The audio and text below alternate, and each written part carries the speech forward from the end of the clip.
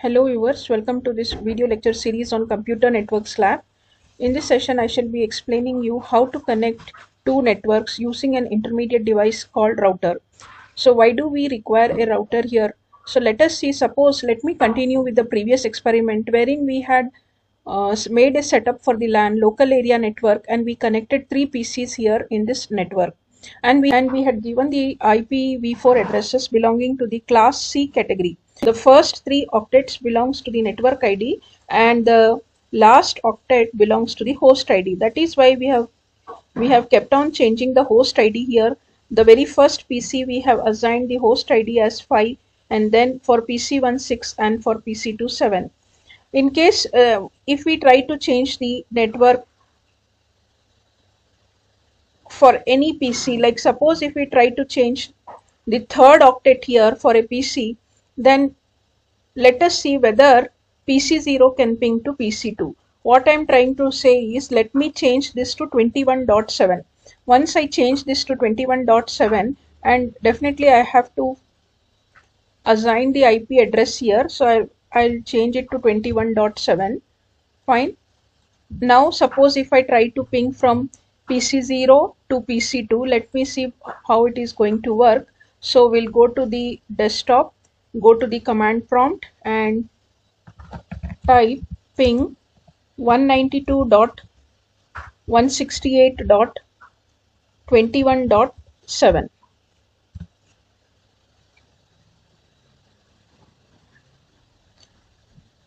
you can see the output it is request timed out. That means pc0 is unable to reach now to, to pc2 but earlier we have seen in the previous experiment that when it was 20.7 that means when three octets were same for all the three pcs that means what? All the three pcs belongs to the same network. Now in case if we try to change this network and try to ping pc0 from pc2 we have seen that we are unable to reach pc2 then what is the solution here?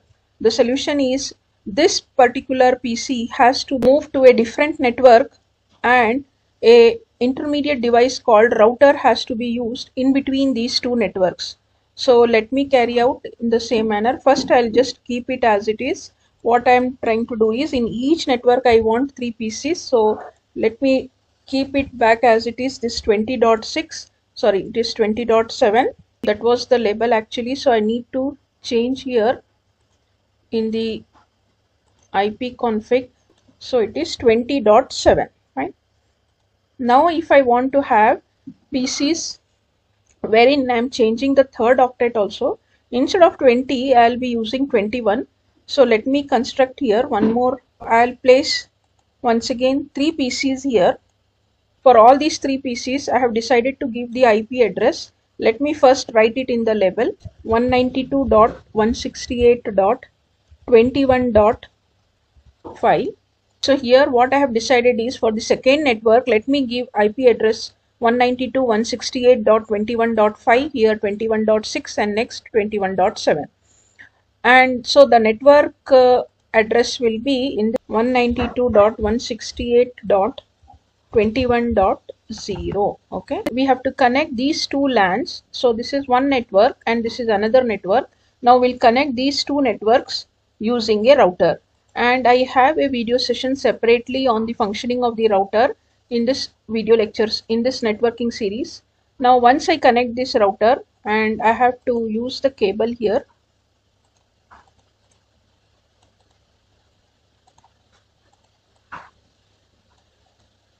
I have written the values only on the labels. Now let me use this IP configuration and then assign 192. 168.21.5 subnet mask okay. Similarly I should do it for the second PC in this network then the third PC in this network 192.168.21.7 once we assign the IPv4 addresses for all these PCs Suppose if we try to ping from one PC, either PC0, PC1 or PC2 to any one of the PCs in the second network, still we will not be able to reach those PCs. The reason is this router which has got two interfaces shown here because it is connecting two networks this one you can check. I'll just place it here. Fast ethernet 0 fast ethernet 0 slash 0 is the network here and this side is fast ethernet 0 slash 1 so these are the two interfaces. Even these two interfaces need to be assigned with IPv4 address. Now what IPv4 address you will be giving?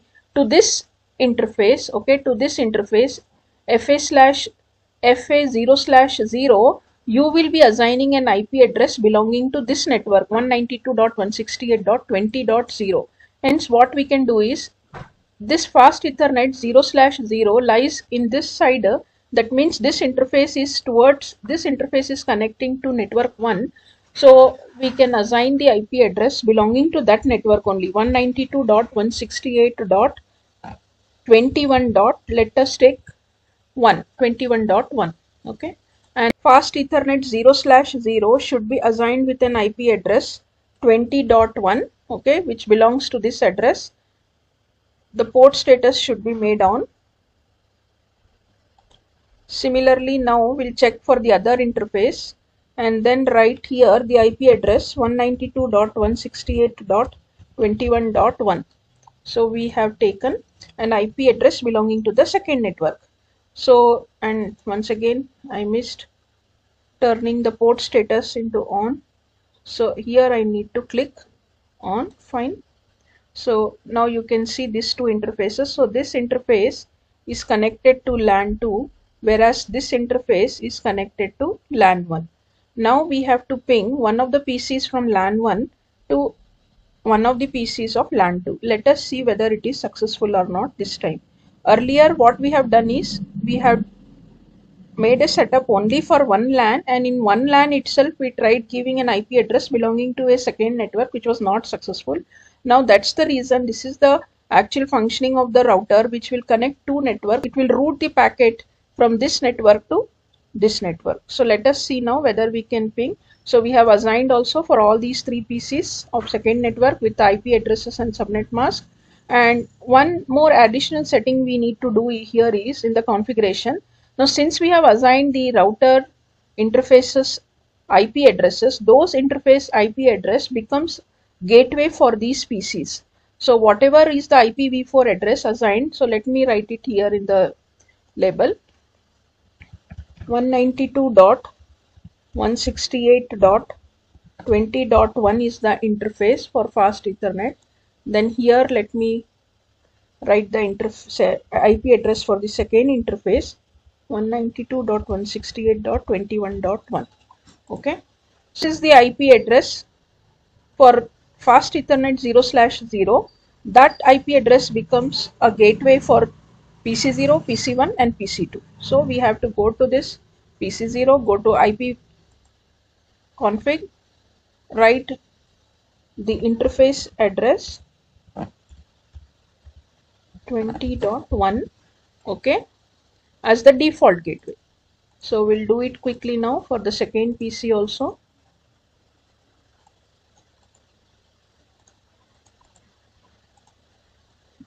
Twenty dot one. Then for the third PC, 20.1. Now this interface fast ethernet 0 slash 1 has got 192.168.21.1 as the gateway as the interface address that becomes the gateway for PC3, PC4 and PC5 belonging to the second network.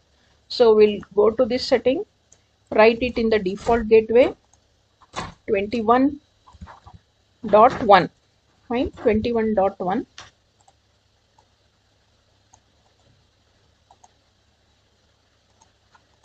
Next for PC2, default gateway 21.1. For PC5, default gateway 21.1. So in this way we have now given the default gateway for PC3, PC4 and PC5 which belongs to this second network and PC0, PC1 and PC2 got the default gateway belongs to default gateway 192.168.20.1 belonging to the first network. Now let us ping from PC0 to PC5. So I'll go to PC0, go to the command prompt, ping PC5's IP address is 192.168.21.7. So we are here. Okay, you can see always on the top PC0. Okay. Then you are trying to ping a PC which belongs to other network and write its IPv4 address. So it, it says invalid command. There is a mistake. I have not given the dot there 192.168.21.7 fine.